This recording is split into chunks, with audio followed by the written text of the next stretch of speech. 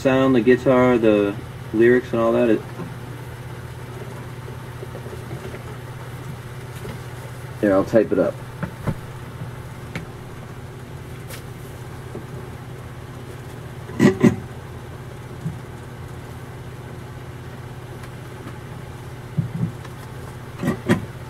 I figured I'd put the microphone in the picture because it looked it looked better and it was a little boring behind me except for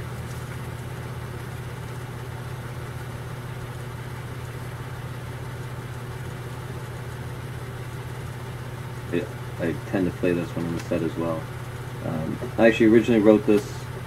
It um, I'd been contacted by Sirius Satellite Radio to do a TV commercial, and they needed a song and um, they needed someone to star in it and everything, and I was all excited. Uh, they gave me the whole idea of this this this girl was. She, did I catch the pheasant?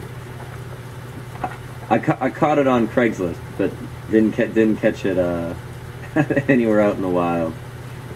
But um, this song Marianne originally uh, Sirius was doing this Christmas time ad campaign. They gave me this whole idea to work with of like you know this girl's looking at her satellite radio. She sees uh, you know an artist name and a song title, and you know she's in her house, and then she goes to the computer. She looks up stuff, and she sees you know where the artist is playing, and the song comes up again, and then she's driving, you know, listening to the song and all this stuff, and then she's at the show, and you know she sees the artist playing the song, and she comes backstage afterwards, and I look at her and I go, "Ma- Marianne, you know, because she's the girl that I'd be singing about.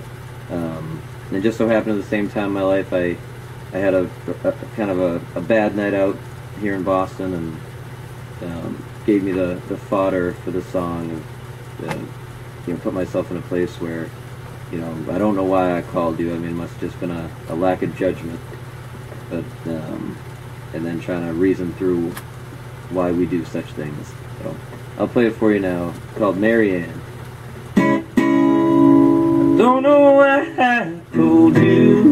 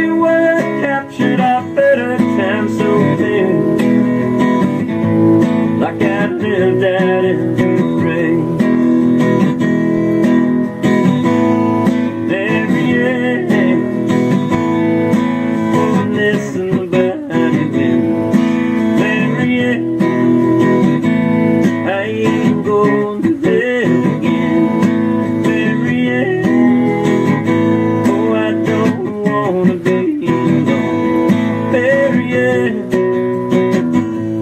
Mary, yes,